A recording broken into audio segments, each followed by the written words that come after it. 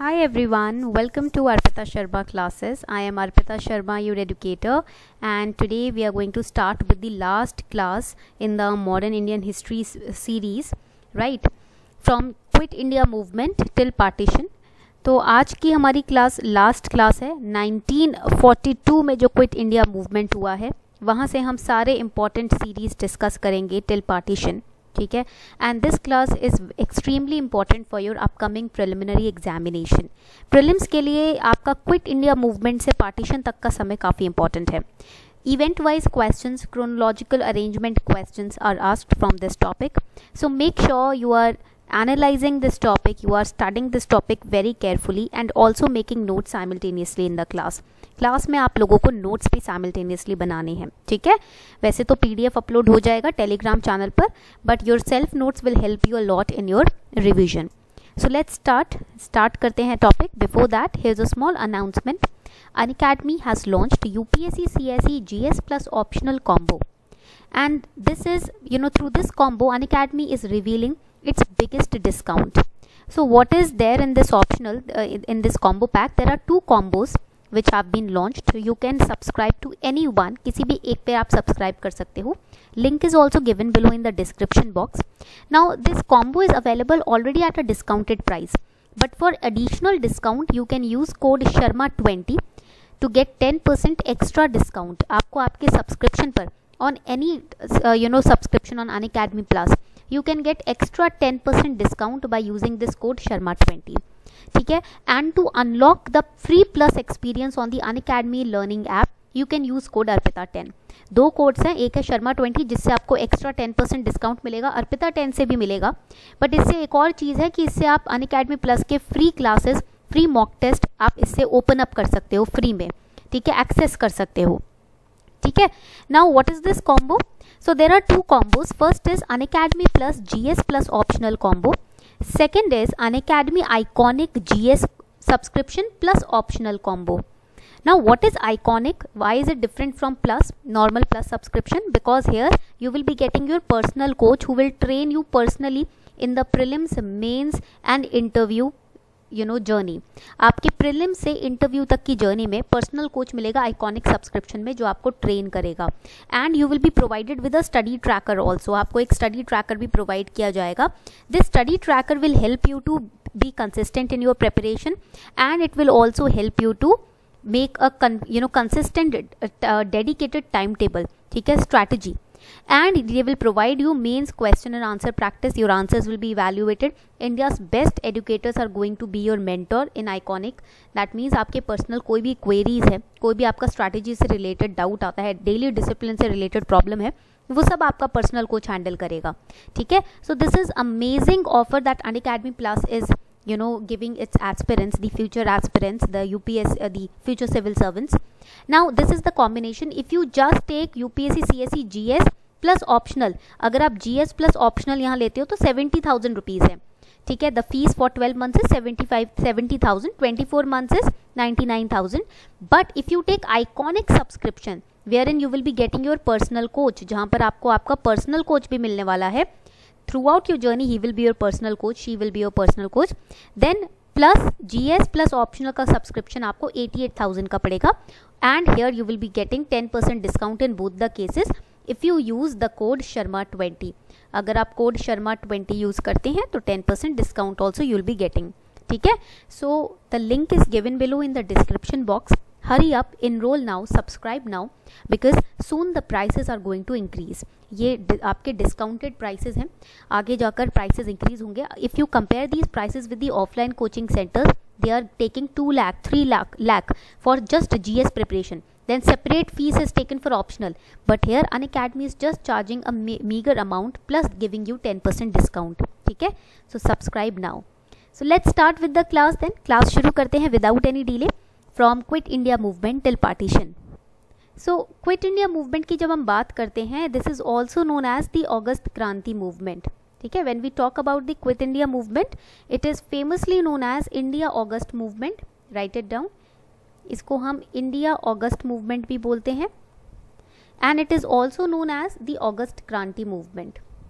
ठीक है इसको हम ऑगस्ट क्रांति मूवमेंट भी कहते हैं these are the two names which are given to the quit India movement ये दो नाम है जो कि क्विट इंडिया मूवमेंट को दिए गए हैं the August Kranti and India August movement and in two thousand August eight seventy eight you know anniversary of quit India movement was observe was celebrated because every year eight August is the day when the August Kranti दिन is celebrated when it was launched now officially who launch the quit India movement officially इसको launch किया गया था Indian national Congress के द्वारा okay so officially it was launched by the Indian National Congress INC ने इसको launch किया था ठीक है and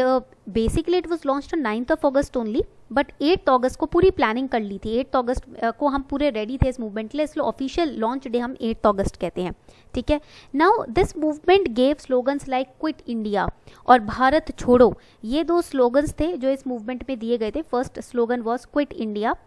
second इसी का हिंदी वर्जन है भारत छोड़ो ठीक है भारत छोड़ के जाओ so it is also known as Bharat छोड़ो आंदोलन and Gandhi ji gave another slogan that slogan was do or die ठीक है गांधी जी ने जो स्लोगन दिया this slogan was given by Gandhi ji do or die ठीक है now in line with the Congress ideology it was suppose to be a peaceful non violent movement ठीक है basically Indian national Congress की ideology थी non violence it was the ideology of Indian National Congress because they use to follow the advice of Gandhi ji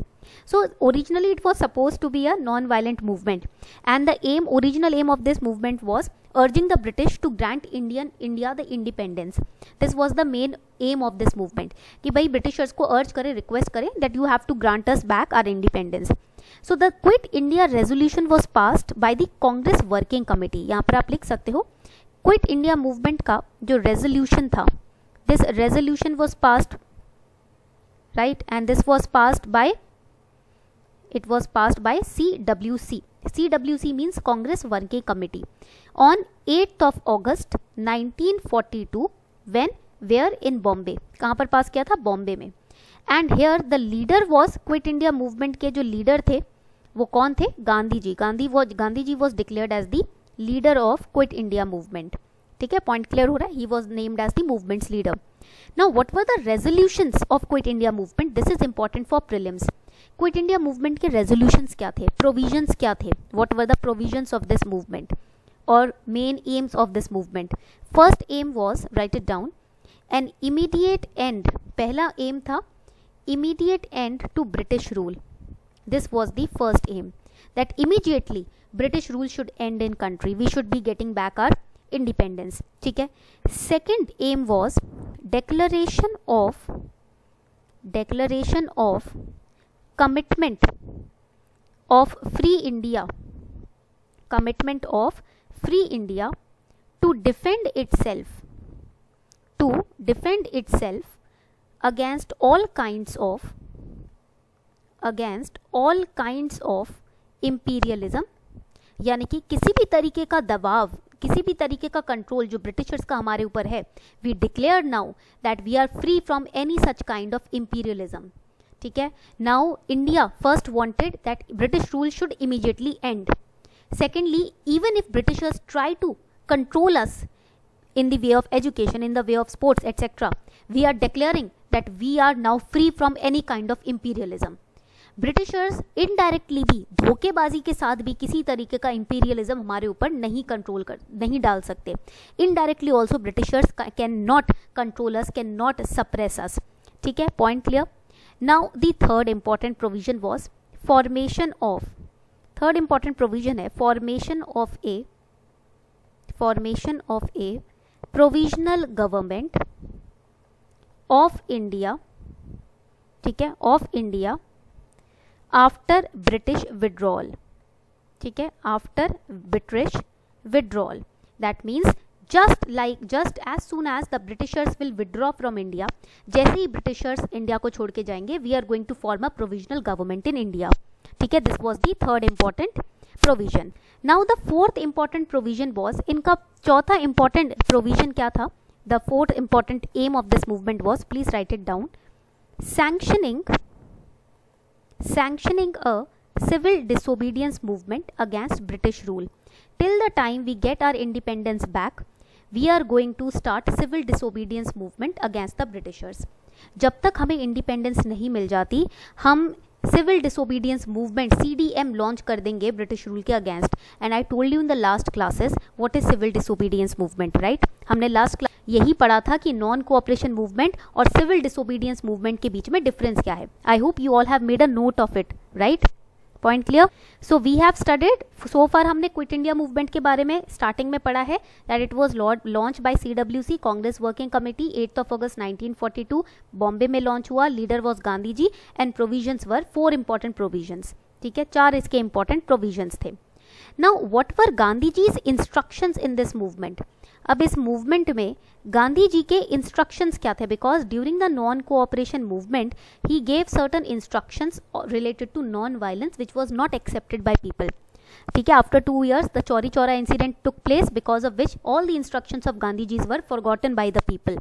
right so here also when the quit india movement was launched instructions were given by gandhi ji because he was the leader right so he gave instructions to various sections of the public first instruction was government servants pehla instruction tha government servants ke liye first instruction was for the government servants he said that do not resign your jobs इन्होंने कहा कि अपने job से resign नहीं करना Do not resign your job. But, but proclaim loyalty to INC. That means. Do not resign from your government jobs British government की job से resign मत करो but stay in the jobs and show your loyalty towards Indian National Congress अपनी job में रहकर Indian national Congress के towards आपको loyalty दिखानी है so basically what you are doing you are telling them them that we yes okay we are your employees but our loyalty remains with our nation हम भले ही आपके employees हैं आपके under काम कर रहे हैं सैलरी भी आपसे ले रहे हैं बट आपकी नहीं सुन रहे we are taking salary from you but not listening to you okay then the instructions were given to peasants also peasants ko bhi instructions diye gaye what were the instructions pay the agreed upon write it down pay the agreed upon rent if the if the landlords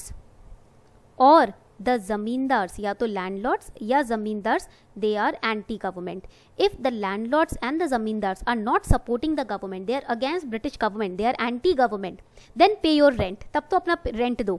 but if they are pro government that means they support the government then don't pay them the rent ठीक है अगर वो support कर रहे हैं government को तो rent देने की ज़रूरत नहीं है then third set of instructions was for the students third instruction था स्टूडेंट्स के लिए the students were asked uh, they were told that they can leave studies they can leave studies if they are confident enough अगर वो confident हैं कि भारत को आज़ादी मिलेगी और हम इस आज़ादी में हम एंड तक रहेंगे भारत के साथ इस स्ट्रगल में एंड तक रहेंगे तब वो अपनी पढ़ाई छोड़ सकते हैं if you are confident that you can clear the exam and if you are confident that you are going to show loyalty towards the freedom struggle ठीक है not to towards the British education then you can leave your studies तब आप leave कर सकते हो अगर आपको आपके करियर को लेकर फर्म कॉन्फिडेंस है कि आपको करना क्या है if you know what you want to do in life ठीक है so you can leave your studies but we are not forcing you to leave studies and participate in the freedom struggle अगर आपको पढ़ना है आपके कुछ goals अलग हैं लाइफ में ठीक है तो आप पढ़ो बट अगर आपका गोल है कि आपको इंडिया को आज़ादी दिलानी है you are confident with your goal then you can leave your studies ठीक है this was the advice instruction for the students fourth instruction was for the soldiers fourth instruction था आपका सोल्जर्स के लिए soldiers were told that be with the army army के साथ रहें ठीक है be with the army but refrain from but refrain from firing on comp, uh, the uh, compatriots that means उनके ऊपर आपको फायर नहीं करना है do not stay in the British army we are not stopping you to come out of the you know to work in the British army but do not fire on the compatriots that means the fellow Indians who are participating in the freedom struggle don't fire on them उन पर गोली नहीं चलानी उनको नहीं मारना ठीक है and the last set of instruction were given to the people of princely state last instruction दिया गया प्रिंसली स्टेट्स के लोगों को ठीक है they were said that support the ruler they were said support the ruler only if only if he is anti government अगर ruler anti government है that means if he is against British government then support the ruler if he is not uh, you know in support if he is supporting the british government then do not support him agar wo support nahi kar raha if he is not supporting the british government he is anti government support him but if he is pro government do not support him chaos macha do state mein agar aapka ruler jo hai wo british government ko support karta hai ठीक है यहाँ तक point सभी को clear है तो जल्दी से बताएं if the points are clear please let me know So now quit India movement when we talk about it we have studied so far that why this movement was launched this movement's final demand was iska jo final demand tha wo kya tha the final demand was that we want independence ठीक है हमें independence चाहिए so basically quit India movement was the final movement wherein do and die speech was given ठीक है ये final एक announcement थी it was a final announcement that finally we want independence and nothing else except for independence हमें कुछ नहीं चाहिए ठीक है पॉइंट क्लियर हो गया यहाँ तक सभी को अब बात आती है question can come that what was the response to quit India movement ठीक है रिस्पॉन्स क्या था क्विट इंडिया मूवमेंट का so first of all what was the impact of quit india movement british government responded to the call of gandhi ji by arresting all the major congress leaders British government ने क्या किया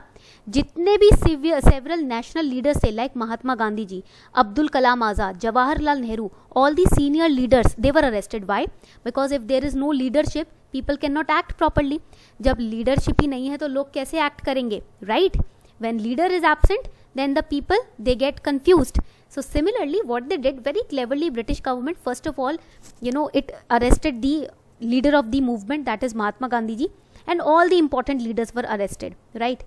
this left the movement in hands of the younger leaders who were the younger leaders ab ye younger leaders kon the jaldi se bataye these younger leaders were they were Jayaprakash narayan they were ram manohar lohia theek hai to new leaders like aruna asaf ali jha theek hai point clear so these younger leaders now the movement was in their hands ठीक है तो younger leaders जो थे उनके हाथों में अब कहाँ पहुँच गई थी कमांड पहुँच गई थी ठीक है now new leaders they started filling up the vacuum which was करेस्ट अब you know created by this arrest इस अरेस्ट की वजह से जो पोलिटिकल वैक्यूम हो गया था उसको फिलअप करने के लिए female leaders also came up as you can see on the screen also this is Aruna Asaf Ali Jha ठीक है and she is known as grand old lady अच्छा ये बताओ ग्रैंड ओल्ड मैन इंडिया का किसको कहते हैं who is known as the grand old man of India very good he is dadabai naroji very good he is dadabai naroji and also let me know in the comment section who uh, you know stood out with the theory of drain of wealth drain of wealth theory कौन लेकर आया सामने public के जल्दी से बताएं yes it was also dadabai naroji old man was known as Dadabhai Naoroji okay and grand old lady is known as Aruna Asaf Ali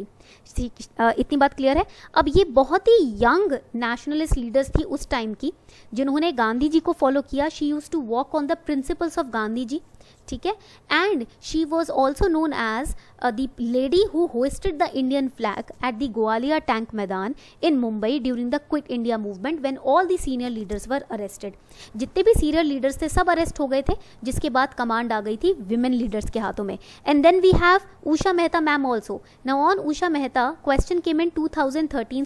उसके बाद क्वेश्चन रिपीट नहीं हुआ है so so, they can ask you this question again in 2021 और 22 क्योंकि repeat नहीं हुआ है सेवन ईयर्स का गैप हो गया है तो क्वेश्चन आ सकता है she helped set up an underground radio station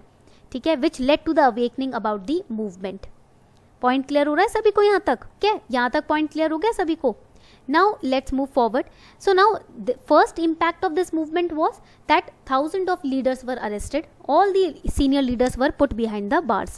now only one lakh people were arrested in connection with this movement एक लाख लोगों को अरेस्ट किया था ठीक है and they were also arrested by first launching a lathi charge सबसे पहले उनके पर लाठी चार्ज लगाया even Mahatma Gandhi ji came under the grant of lathi charge right but there was no communal violence इस मूवमेंट का impact एक ये था कि कोई भी कम्यूनल वायलेंस नहीं था that shows that now when the quit India movement was launch in nineteen forty two by nineteen forty two even the Muslims and Hindus they have forgotten about their own fights ठीक है तो किसी भी तरीके का communal violence नहीं था इस मूवमेंट के दौरान यानी कि ये प्रूफ होता है कि हिंदू और मुस्लिम्स जो हैं उन्होंने अपने आपसी मतभेद भुला दिए थे ठीक है they had forgotten about their personal fights ठीक है पॉइंट क्लियर हो रहा है सभी को okay so so far we have studied that no communal violence was there then national leaders was arrested new leaders young leaders came up new leaders आ गए थे young leaders आ गए थे एंड इन दिस मूवमेंट ना I N C was also banned ठीक है इस movement में क्या हुआ इंडियन नेशनल कांग्रेस को बैन कर दिया गया So now the next important impact was that here the first half of the movement was peaceful. पहला half जो था movement के launch का peaceful था. Second half was violent and this was against Gandhi ji's philosophy. Gandhi ji के philosophy के बिल्कुल against था ये. The Viceroy's Council of Muslims, Communist Party, Americans, they supported the Britishers only, right even American at that time supported the Britishers ठीक है against this quit India movement now what are the drawbacks इस movement के drawbacks क्या है देखो Gandhi ji always wanted that this movement should be a peaceful movement ये movement एक peaceful movement होना चाहिए but in the second half of this movement violent methods were use volunteers and participants they started becoming violent with the british administration british authority and british soldiers the movement was crushed in a relatively short period of time by the britishers now gandhi ji knew that if we start becoming violent the britishers will have an excuse to beat us up and arrest us agar hum zara se bhi violent ho gaye to britishers ko excuse mil jayega hame openly peetne ka aur jail mein dalne ka theek hai wahi nahi karna tha But when Gandhiji was arrested, the younger leaders could not maintain the non violent aspect of this movement जो जितने भी younger leaders आए थे ना गांधी जी के arrest होने के बाद वो क्या हुआ कि वो बिल्कुल भी किसी तरीके का भी यू नो कंट्रोल नहीं रख सके they could not keep any control ठीक है any control on the violence aspect of this movement so that is why इसीलिए ये मूवमेंट जो है ब्रिटिशर्स आज बहुत आसानी से दबा सके it was very easy for the Britishers plus there was lack of leadership Gandhi ji was arrested ठीक है गांधी जी जो थे वो अरेस्ट हो चुके थे तो फाइनली क्या हुआ लैक ऑफ लीडरशिप हुआ then some parties did not support the movement कुछ पार्टीज थी जिन्होंने सपोर्ट नहीं किया because Muslim League was not supporting the movement why because the movement said that we want provincial government to be established once the British government ends in India हमको यहाँ पर अपना provisional government आई को establish करना है जैसे ही ब्रिटिशर्स जाते हैं and Muslim League wanted partition Muslim League तो पार्टीशन पर अड़ी हुई थी ठीक है so that is why Muslim League did not support this movement communist party of the India did not support then meanwhile Subhash Chandra Bose organise the I N A Indian National Army and Azad Hind government from outside the country he was creating his own military army so there was lack of unity in the political aspect political parties के बीच में अगर हम देखें तो unity नहीं थी communalism was not there but political aspect was very weak okay point clear हो रहा है so that is why these are the drawbacks now the another question comes question ये आता है ठीक है आपके मेन्स में what is the importance question is what is the importance of quit India movement this can be the question so first importance of quit India movement is that we know there was a heavy heavy handed uh, you know ठीक है heavy handed suppression था government के द्वारा but still even after getting suppressed by after getting beaten up by the British government the Indians did not stop they were unfazed so you can write that the Indians were unfazed by the suppression or you can write by the heavy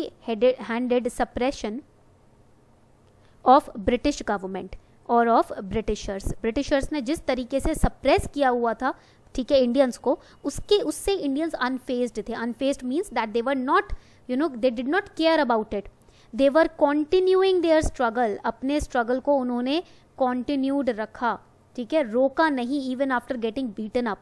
second importance इसका second significance है that this movement was in was a public you know mode movement that means mass scale participation from each and every sector of the society was seen in this movement इस movement में आपने mass scale participation देखा every sector of the society the students the peasants the government employees the women everybody participated in this movement ठीक है so because of this the anti British sentiment increase जिसके वजह से क्या हुआ anti British sentiment जो है वो बढ़ना शुरू हो गया लोगों के दिलों में ठीक है and this movement placed the importance on the demand of independence now people were not talking about dominion status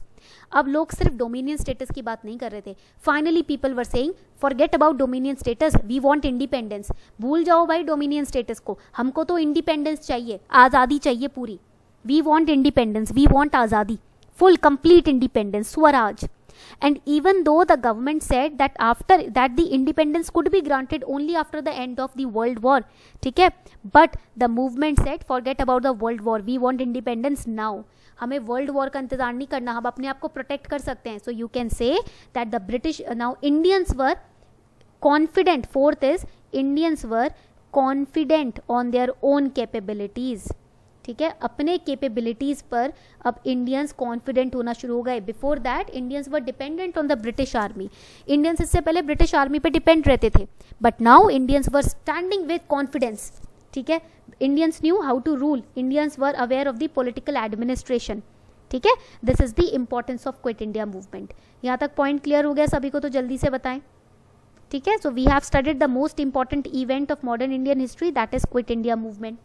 now another very important topic that we missed in the last class is the first round table conference हमें round table conferences को पढ़ना है we are going to study three round table conferences okay why it is important ये क्यों important है because lately in prelims they are asking question on round table conferences so we have to cover it ठीक है round table conferences को ना miss कर देते हैं लोग हमको इसको कवर करना है ठीक है so let start with the first round table conference now first roundtable conference happened in 1930 now in the uh, you know salt satyagraha we discussed this हमने salt satyagraha की class में ये discuss किया था ठीक है so during the salt satyagraha class we discussed that first roundtable conference was convened in London ठीक है and Indians they were called the nationalist leaders were called to London on 31st October 1929 there were certain principles that the conference and the british government in the conference that the british government was made to accept Indians ने क्या कहा British government को कि कुछ principles हैं जो आपको accept करने हैं there are certain principles that you need to you know accept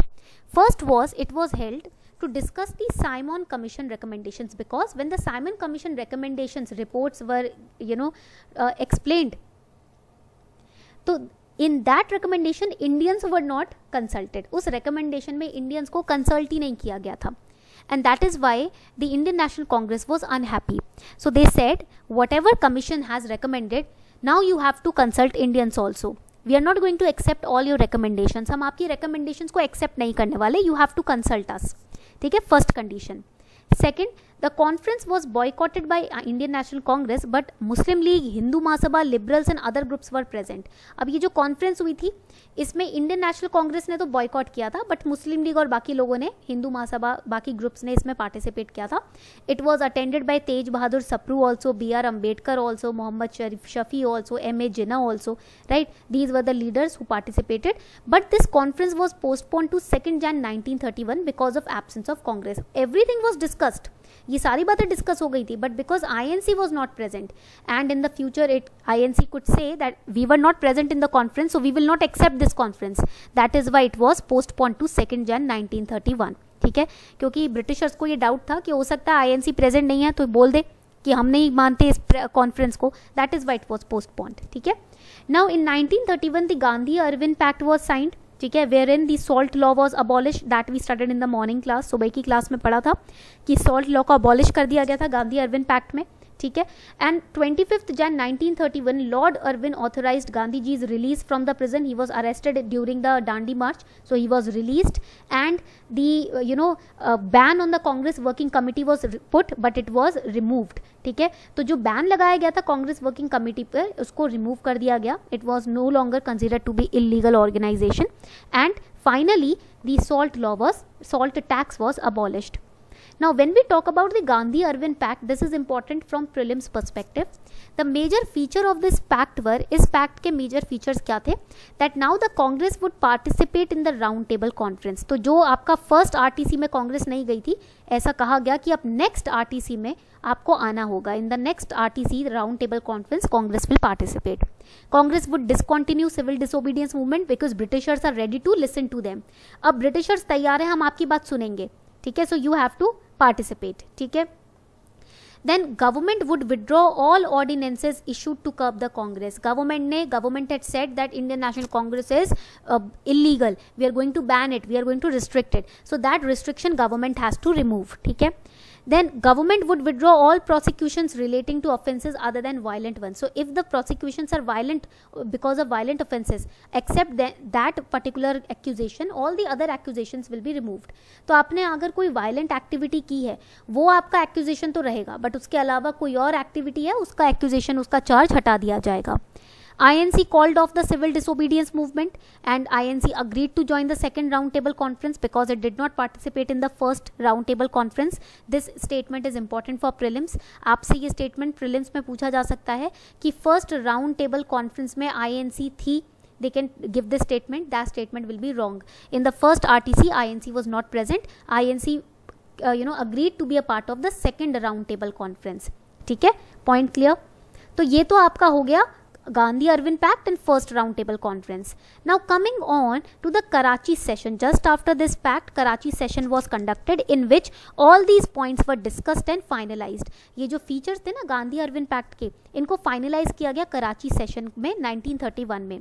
So Karachi session is known for its resolution on fundamental rights and national economic programs. okay so basically in this session the economics of the country the civil rights political liberties of the people were discussed कि भाई जब आप हमें हमारे ऊपर से हर ban हटा रहे हो you are removing every ban every restriction on Congress Congress is a political party in the nation so we will talk about now the civil rights of the people the political liberties of the people as a political party we will talk about the fundamental rights of the people and how government should adhere or stick with the fundamental rights and we will also talk about the economics of the country because so far you have drained our wealth completely अभी तक आपने हमारा पूरा wealth drain कर लिया है पूरा निकाल लिया है वेल्थ अच्छे से तो अब हम इकोनॉमिक्स की भी बात करेंगे ठीक है so Karachi session I N C declared that in order to end the exploitation of masses in order to give political freedom right we need to give real economic freedom for the starving millions जितने भी हमारे भूखे हैं भारत में ठीक है hunger में लोग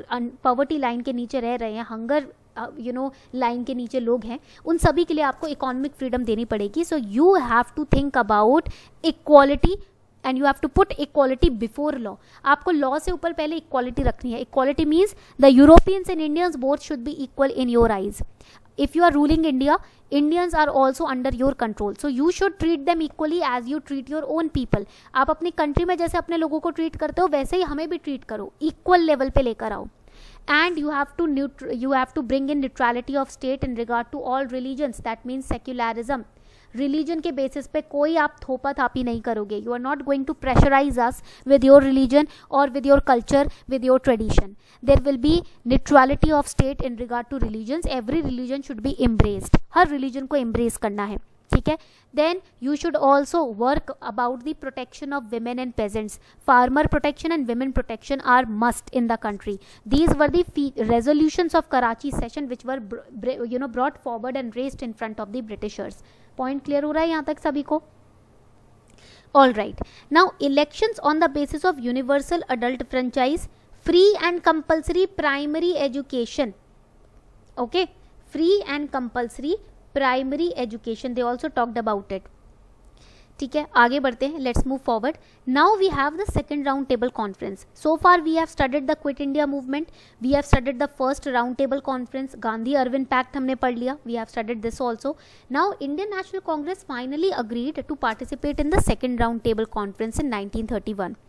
so because of the absence of Congress party in the first round table conference conference, round table conference was conducted in nineteen and other Indians who participated in the conference was were Sarojini Naidu. Now, if you have seen this in news, I don't know if you have seen this in news or seen this uh, on YouTube. There is a video of Sarojini Naidu ji. She also gave a speech in the second round table conference. Okay, and in a very very wonderful language, very wonderful way of giving his uh, the you know her speech has been published on YouTube also. YouTube पे भी उनके बारे में publish किया हुआ है उनकी video भी डाली हुई है बहुत ही ब्यूटीफुल वे में उन्होंने ये स्पीच दी थी right right? So just go through that speech ठीक है now Gandhi ji demanded immediate establishment of full responsible government underline this these points are important for prelims ये पॉइंट्स आपके प्रिलिम्स के लिए इम्पॉर्टेंट है ठीक है that Gandhi ji demanded immediate establishment of full responsible government at centre and at provinces Gandhi ji ने declare किया इस आर टी सी में that first demand is my first demand is I want full responsible government at the centre ठीक है secondly I want control over defence external affairs and finance मतलब Gandhi ji did not say I want control the government should be given the control over defence external affairs and finance okay Gandhi ji said British government should not interfere in these three major areas British government को ये तीन major areas में interfere नहीं करना ठीक है second demand significant issue of second RTC was to solve the communal problem main जो aim था इस आरटीसी को करने का वो ये था कि जो हिंदू एंड मुस्लिम्स के बीच में कम्युनल प्रॉब्लम है between Congress and Muslim League we have to solve it हम इसको सॉल्व करना है ठीक है but this was not solve why would Britisher solve this problem Britishers never wanted to leave India तो वो इस प्रॉब्लम को सॉल्व क्यों करेंगे बात को तो घुमाए घुमाएंगे इधर उधर ठीक है एंड जिना जी ऑल्सो वो secretly supported by Britishers why because Britishers policy was divide and rule Britishers की पॉलिसी क्या थी भाई डिवाइड करके रूल करना so they also wanted to क्या चाहते थे that India the Hindus and Muslims should keep on fighting for partition for separate state separate nations and we will support them individually हम क्या करेंगे फूट डालेंगे individually we are going to divide them and होगा क्या at last they will fall in front of us हमारे सामने गिर जाएंगे नहीं अपने आप को हैंडल कर पाएंगे this was the main aim right the session was soon deadlocked on the minorities issue and demand of separate electorates deadlocked means no conclusion was reached in this session कोई कंक्लूजन ही नहीं आया इस session में because finally they were not they were you can say on deadlock they were not finalising the issue of minorities and separate electorates ठीक है देखो जिना साहब तो चाहते थे सेपरेट इलेक्टोरेट्स आईएनसी नहीं चाहता था ऐसा ठीक है इसी पे आकर दोनों अड़ गए and MacDonald ended the session with the announcement of creation of two new Muslim majority provinces North West Frontier Province and Sindh this was the first step towards partition ये पहला स्टेप था पार्टीशन के towards okay okay? And Gandhiji returned to India.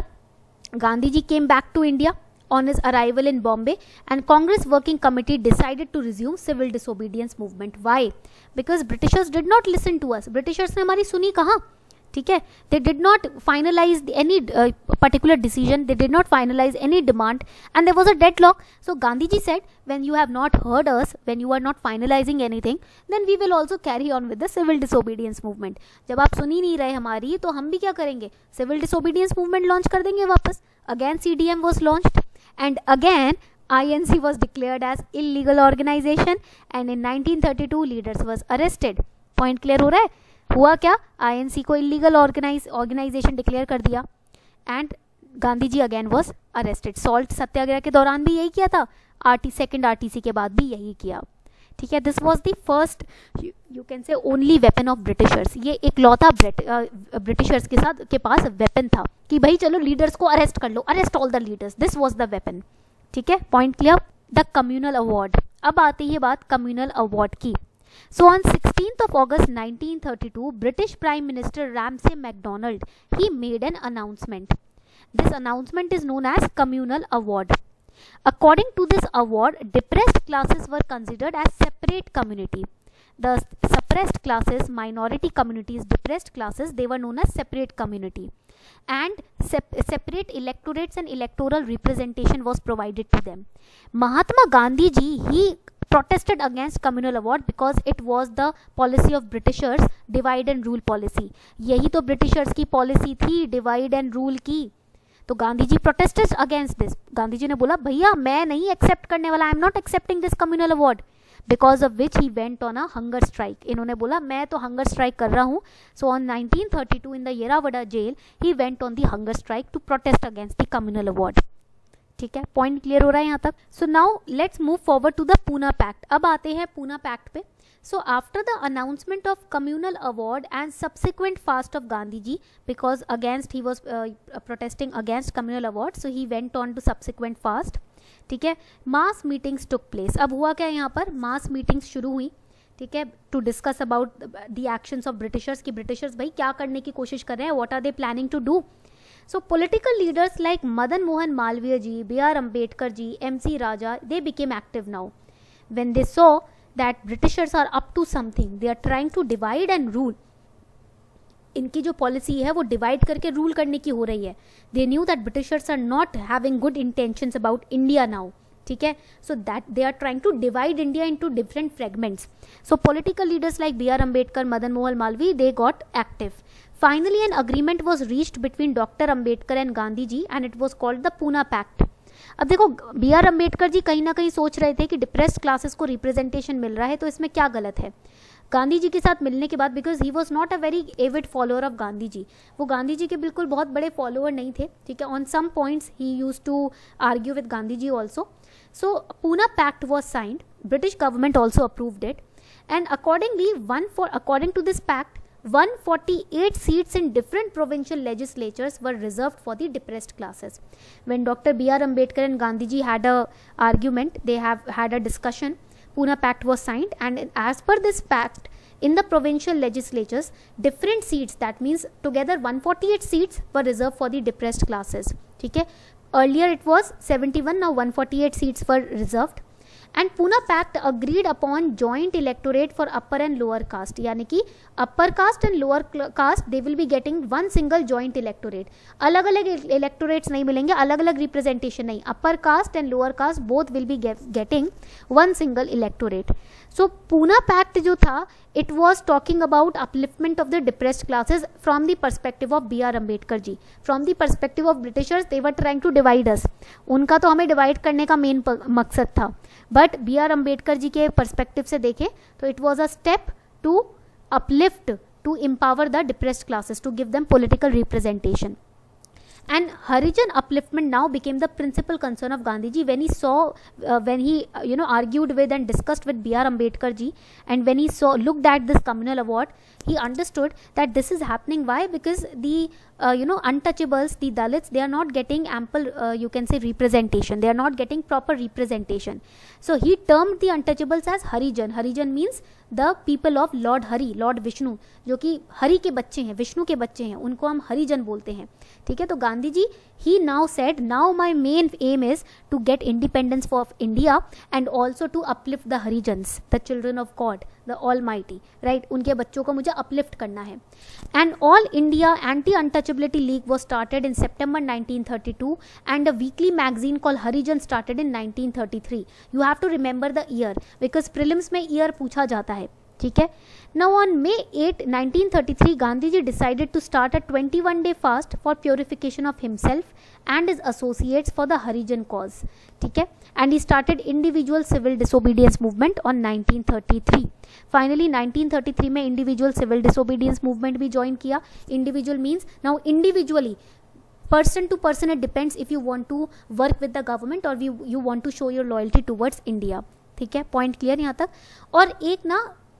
Constitutional committee भी तैयार की गई जो कि फ्यूचर में जैसे ही इंडिया आज़ाद होता है धीरे धीरे उसके कॉन्स्टिट्यूशन में पॉइंट्स को एडअप किया जाएगा उस कमेटी के रिपोर्ट के थ्रू तो अभी से ही नाइनटीन में से ही एक वर्किंग कमेटी तैयार कर दी इंडियन नेशनल कांग्रेस ने जो कि बात करेगी रिस्पॉन्सिबल गवर्नमेंट की A committee was established by Indian National Congress who was researching about the features of responsible government taki hame jab independence mile to hum ghabra na jaye ki ab kya karna hai hamare paas ek report taiyar ho ki ye ye steps karne hain point clear ho raha hai yahan tak sabhi ko theek hai point is clear please let me know and in the wake of all these events government of india act 1935 was launched इन्हीं sub events ke baad 1935 का government of India act pass किया गया and it was the longest act ठीक है enacted by the British parliament it was you know launched in 1935 it started from 1937 and it was cancelled on 1950 so it was the longest act ये जो act बना 1935 में yes mini constitution this act lasted till our independence हमारे independence के भी तीन साल बाद इसको कैंसिल किया गया ठीक है सो टेरिटोरियल एक्सटेंड क्या था how much territorial extend did it have in India it covered all the territories under the British control ठीक है so what were the features of this act इस एक्ट के फीचर्स क्या थे here you will see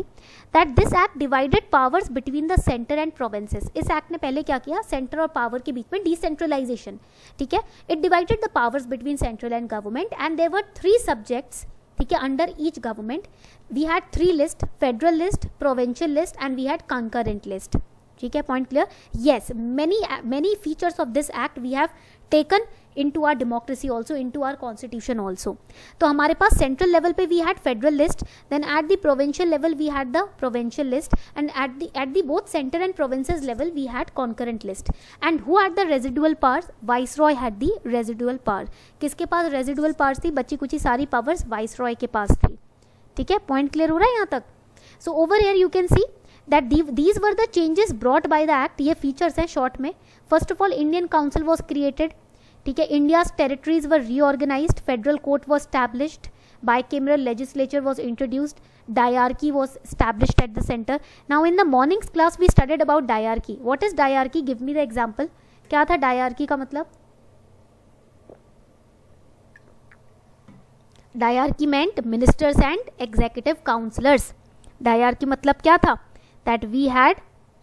ministers हमारे पास ministers थे and second level of administration was executive councillors point clear हो रहा है दिस वॉज डायर की इसको कहते हैं डायर की ठीक है सो नाउ प्रोविंशियल ऑटोनॉमी की अगर हम बात करें when we talk about provincial autonomy this act gave more autonomy more power to the provinces more freedom dyarchy was introduced ठीक है डायर डायरकी इंट्रोड्यूस किया गया governor was the head of the executive executive का head कौन हुआ था governor बना था he was heading the executives then there was a council of ministers to advise the governor governor को एडवाइज करने के लिए काउंसिल ऑफ मिनिस्टर था सो वी हैड गवर्नर ठीक है he had a council of minister he was in charge of executive committee ठीक है and he had the special residual powers जो भी रिजर्व पावर्स हैं वो इसी के पास थे गवर्नर्स के पास थे ठीक है and British officers could still suspend a provincial government भले ही ऑटोनॉमी मिली हुई है it has been given the autonomy but it could still be suspended by the British government ठीक है पॉइंट क्लियर हो गया सभी को तो हमने बाई कैमरल लेजिस्लेचर और डायर की भी डिस्कस किया हुआ है already we have discussed it ठीक है अब बात आती है क्रिप्स मिशन की now let us understand the second very important event that is the Cripps mission now when we talk about the Cripps mission it was sent by the British government from London London से आए थे ये लोग India में they came from london to india and why it is named as Cripps mission Cripps mission kyun bolte hain isko because the leader of this mission was stafford Cripps. is mission ke leader the na stafford crips stafford crips means he was the chairman theek and that is why on his surname the Cripps mission has been named so now the Cripps mission was sent by the british government to india in march 1942 why to obtain Indian cooperation for the British war effort second world war चल रहा था Britishers are so selfish कितने selfish थे second world war was going on and they wanted Indian soldiers to help them यहाँ से भी उनको you know army force चाहिए थी अपनी हेल्प के लिए what they did they sent their Cripps mission to India ठीक है एंड क्रिप्स मिशन में कौन कौन थे सारे मिनिस्टर्स थे ठीक है all the ministers three four minister three ministers were total sent ठीक है and when they came to India they came and approach the nationalist leaders urging them to help them in the second world war against Japan Japan ना आपके eastern borders तक आ गया था India के ठीक है and they had already controlled Burma so it was a big shock for the Britishers they thought now we are going to lose everything so they went to the national nationalist leaders for their support and what did the nationalist leaders do इन्होंने क्या किया nationalist leaders ने कहा हम आपको support करेंगे अगर आप हमें पूर्ण स्वराज दोगे we will support you in the second world war if you are going to give us Purna Swaraj what was the proposal of Cripps mission first was पहला क्या प्रपोजल दिया what was the you know you can say bet that they were giving us they said we will set you know setup Indian dominion हम आपको dominion स्टेटअप दे status देंगे you will be a part of British India only you will be known as British India only but you can make your own constitution ठीक है second proposal was that we will transfer the power हम आपको power transfer कर देंगे हम चले जाएंगे but आप इंडिया का पार्ट रहोगे you will be part of India we will go transfer the power but the condition is that India defence will be in our control condition ये हम छोड़ के तो चले जाएंगे बट आपका जो डिफेंस है ना वो हमारे कंट्रोल में रहेगा ठीक है अब आप बताओ इंडियंस इसको एक्सेप्ट करेंगे will Indians accept this Indians were asking for Purna Swaraj तो we did not accept this stupid proposal हमने ये प्रपोजल एक्सेप्ट ही नहीं किया हमने बोला किसी और को पागल बनाना ठीक है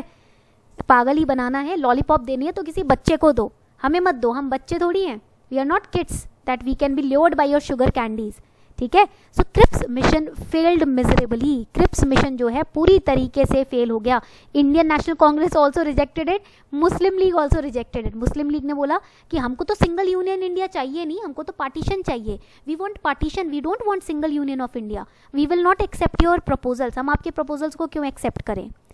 so then in nineteen cabinet mission was sent to India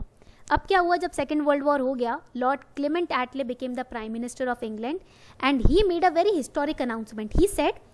that okay we are accepting all the demands of Indians they want Purna Swaraj okay we will give them Purna Swaraj full independence ठीक है they want to make their own constitution correct okay they can make their own constitution but we will come to India to wind up our administration हम India में आएंगे अपनी administration को wind up करने यानी कि अपनी एडमिनिस्ट्रेशन को आप वापस ले जाने खत्म करने सब वहाँ पर पैकिंग करने भारत तो आना पड़ेगा ना if you leave a place you do your packings right आप किसी जगह को छोड़ के जाते हो पैकिंग करते हो ना so Britishers also had to pack up right? So three members of the British cabinet were sent to India, Patrick Lawrence, Sir Stafford Cripps and A.V. Alexander. These three people were sent to India. This is known as cabinet and it took put forward a plan for solution of constitutional problem what was the constitutional problem partition how to do partition partition kaise karna hai bhai india mein kis tarike se partition karenge because muslim league is adamant muslim league to pagal ho rakhi hai usko to chahiye ki bhai hame jaldi se pakistan bana kar do so the mountbatten plan was launched in 1947 ठीक है and according to this plan India had to be divided into two parts ठीक है दो republics बनेंगी एक होगी India एक होगी Pakistan Bengal and Punjab will be partitioned ठीक है नॉर्थ वेस्टर्न फ्रंटियर प्रोविंस को हम पूछेंगे citizens we will ask the north western you know frontier province if you want to want to be a part of India और you want to go with Pakistan ठीक है so two territories for Pakistan were created in the northern side north western side and in the eastern side Bangladesh finally Bangladesh was liberated from Pakistan in 1971 जो आपका east Pakistan का liberation war हुआ था उसमें बांग्लादेश को India ने help किया था इंडिया हेल्प बांग्लादेश ठीक है and finally a date was fixed for dividing India and Pakistan and for handling power to India and Pakistan that date was August fifteen 1947. ये था वो date and we had Indian Independence Act of 1947 wherein power was transferred to India and Pakistan separately. Radcliffe Boundary Commission drew the boundary line, separated India and Pakistan. This was the painful moment in our modern Indian history. ये सबसे दर्दनाक moment है जब red Cliff boundary commission ने line draw की थी India और पाकिस्तान को डिवाइड करने की large scale communal violence took place large state you know you can say scale uh, killings happened in India, even in Pakistan. People, they were thrown away from their houses. They had to migrate from India to Pakistan, from Pakistan to India. ठीक है point clear हो रहा है यहाँ तक तो ये था आपका मॉडर्न इंडियन हिस्ट्री का अब तक का सारा इंपॉर्टेंट इवेंट्स का coverage this was your important events coverage of modern Indian history So this was all for today. I hope you enjoyed the session. If you really enjoyed it, do not forget to like, share and subscribe.